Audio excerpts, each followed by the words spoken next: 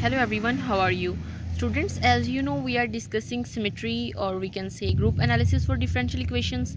And in the previous two lectures i have talked about um, symmetry or invariance of curves.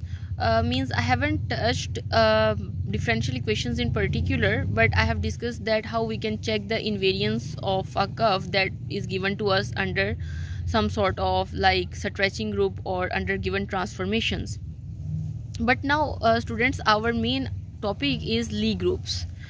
Students uh, in group theory you know uh, for checking that a given uh, function you can say is a group uh, we need to check four properties.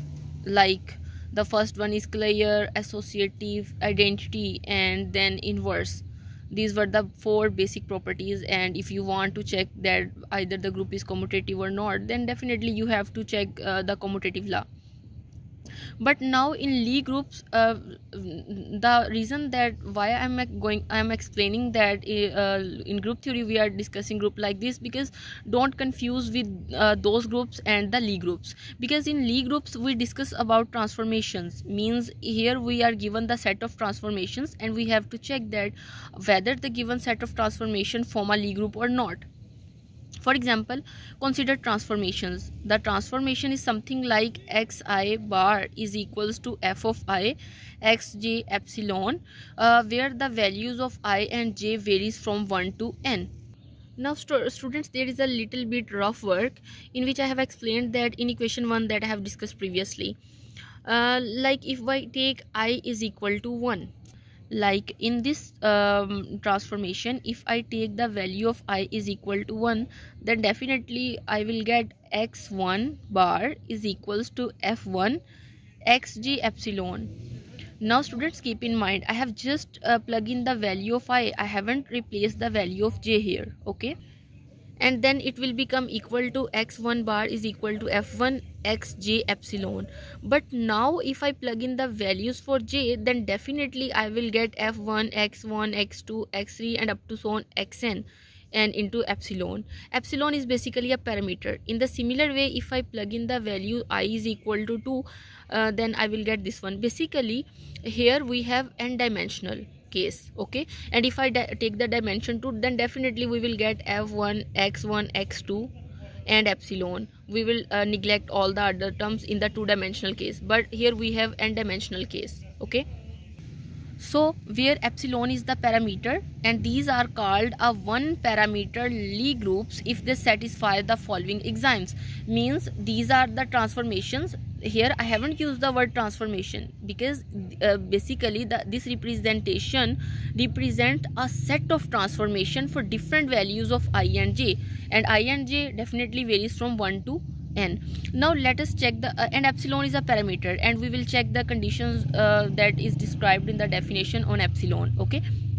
Now we will check the axioms uh, that should be satisfied for the given transformations to be a Lie groups now students uh, the first condition is this that uh, definitely um, uh, following axioms with respect to the law of composition means first of all for the given transformation uh, to check that either the given transformation is group or not first of all we have to define the law of composition. In the coming lecture i will describe how we we can find the law of uh, uh, composition or how we can find the phi ab now the first condition is this that if AB belongs to G then phi AB belongs to G.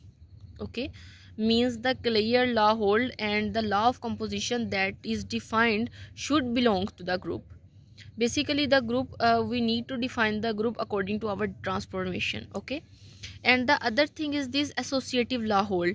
Means if a b c belongs to g then phi of a phi of bc is equal to phi into phi of ab into c.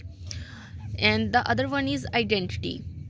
If a belongs to g then there exists an identity belongs to g such that phi of a e is equal to phi of e a is equal to a.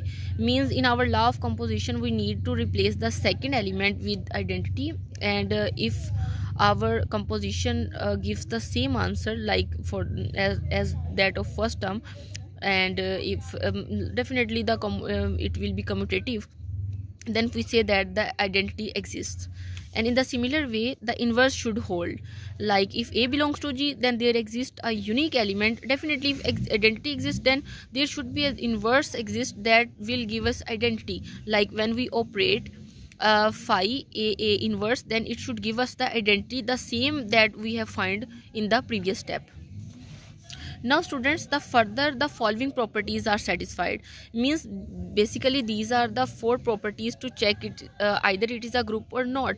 Now the other four properties are very important one that states that the transformation that we have defined earlier uh, fi is a smooth function of variables xj now students uh, do you know what is smooth function if you don't know let me uh, explain.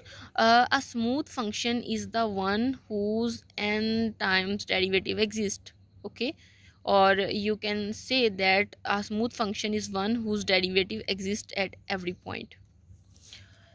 Now the other condition is this. Fi is analytic function in the parameter epsilon okay?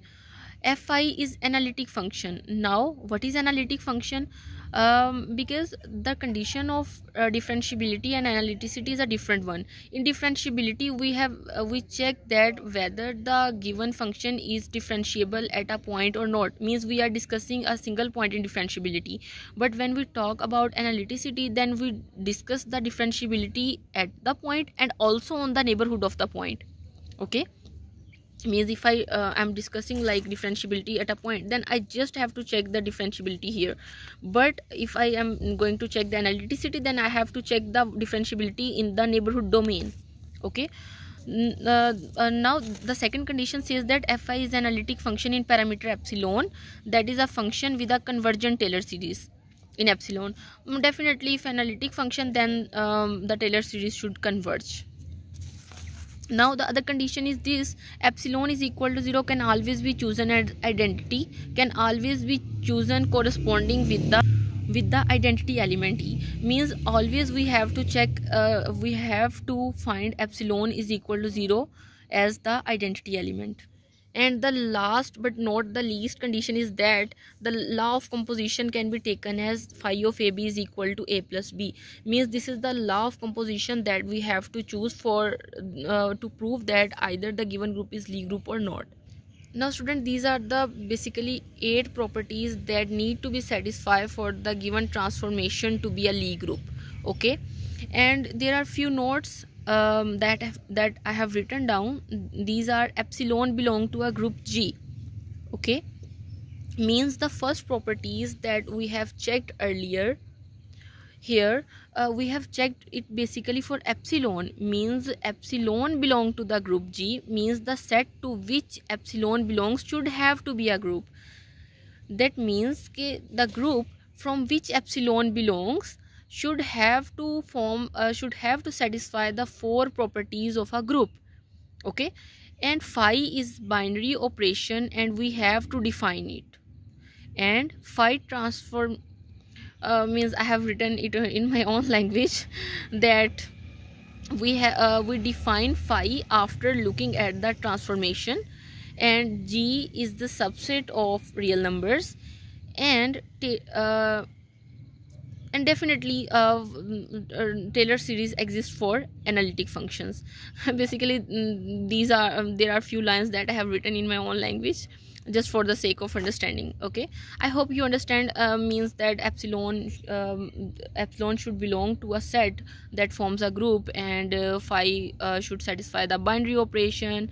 And uh, if it is analytic then definitely um, uh, definitely the Taylor series exists. Now student this is all about the Lie groups. And uh, in uh, in the next lecture I will talk or I will discuss that how we can check that either the given transformation is form a Lie group or not by using all of the eight conditions that we have described. Okay? There are basically eight conditions for the Lie groups. Now uh, that's all. Thank you so much